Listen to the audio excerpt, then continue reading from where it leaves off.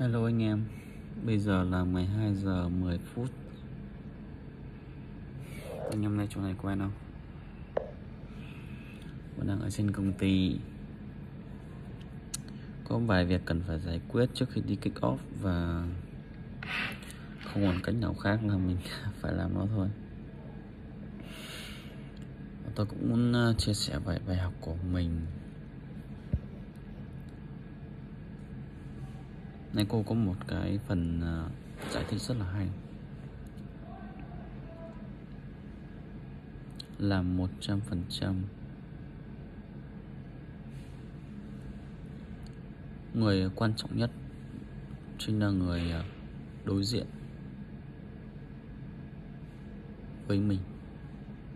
Khi mình đang tiếp xúc với ai Thì người đấy là người quan trọng nhất Trong cuộc đời của mình mình à, đang làm việc à, cùng với đồng nghiệp thì à, đấy đây là người quan trọng nhất trong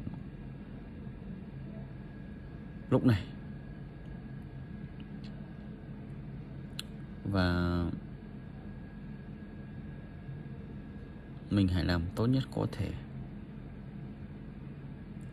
Này cô kể lại câu chuyện uh, chàng trai uh, ở trong cuốn sách nhà giả kim